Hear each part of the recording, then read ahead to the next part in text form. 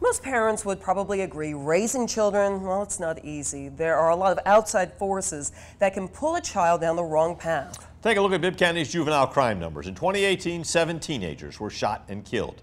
A dozen teens, including two 15-year-olds, are charged in those murders.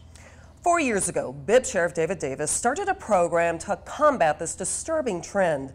In tonight's 13 Investigates, I go inside the Consider the Consequences program.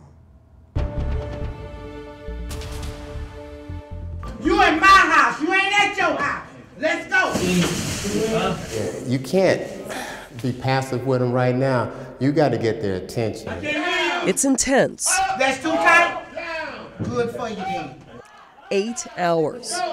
One Friday every month. Do you understand me, sir? The Captain Ellis Sinclair hopes will change these young people's lives forever. So what we're doing is trying to prevent them from either winding up in two places, either in somebody's jail or in somebody's cemetery. Their parents know the stakes are high. That's why they enrolled them in the Consider the Consequences program. Again, you're very mouthy. You have no respect for authority.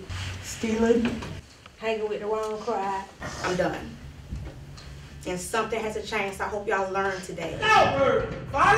These children, ages 10 to 16, see what it's like to spend a day in jail, a glimpse of what their future could be if their behavior doesn't change.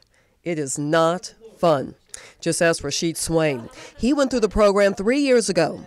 Swain says he was stealing food, toys, and clothes, many times, he says, for his younger brothers and sisters.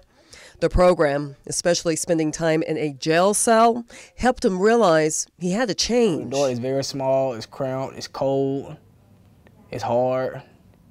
Only thing, only thing you're gonna be looking at is your on the metal piece, a metal piece that come out the wall and your toilet. That's the only thing you're gonna be looking at. Now, Swain spends his time looking at books, getting an education. The Central High School senior lives at the Methodist Children's Home in Macon and looks forward to graduation in May. He plans to attend South Georgia Tech. He credits the Children's Home, the Consider the Consequences program, and Judge Verda Colvin for getting him on the correct path.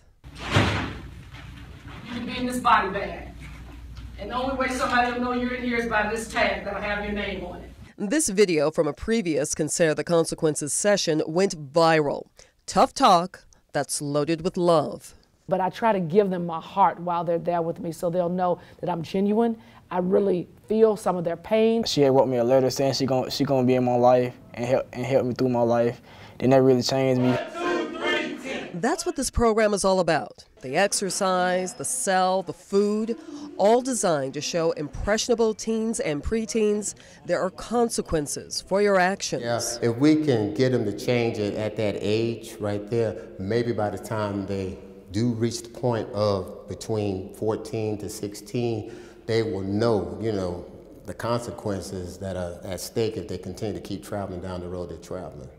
I just want our kids to have a real future and to know that, you know, not only are their parents depending on them and our future is depending on them, but their lot in life is depending on them. The Consider the Consequences program is open to 10 to 16 year olds. Parents from around Georgia and other states like Alabama have used the program. Now, I asked about the success rate. Organizers say it's really hard to track. They reach out to families each month, encouraging them to continue to take classes. Judge Colvin says she measures the success by seeing those kids who are in her courtroom, like Rashid, thriving out in the community.